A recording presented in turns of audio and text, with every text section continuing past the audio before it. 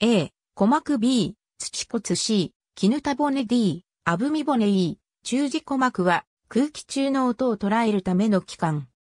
陸上脊椎動物のうち、鼓膜は哺乳類、爬虫類、鳥類に見られるが、理化学研究所と東京大学大学院医学系研究家の共同研究グループの研究により、これらの共通祖先で獲得された器官ではなく、哺乳類系統と爬虫類、鳥類系統と、でそれぞれ別の進化過程を経て独立して獲得されたものとみられている。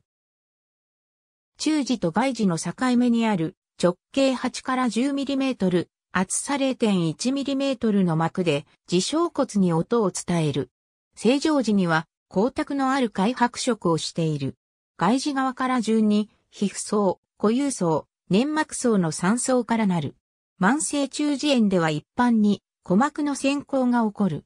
また、鼓膜が中耳側に貫入して脳胞を形成し、内部で上皮が増殖して、真珠腫を生じることがあり、これを真珠腫性中耳炎と呼ぶ。真珠腫は進行すると、自小骨を誘拐させて、難聴を引き起こしたり、顔面神経を障害したりすることがある。鼓膜も皮膚と同じく再生することが可能である。だいたい1週間から10日ほどで再生する。小さな子供が鼻水をすすった際に耳の奥へ溜まってしまう場合がある。この際は鼓膜に穴を開け吸い出すのだが、親が同意を求められた際に過剰に反応する場合がある。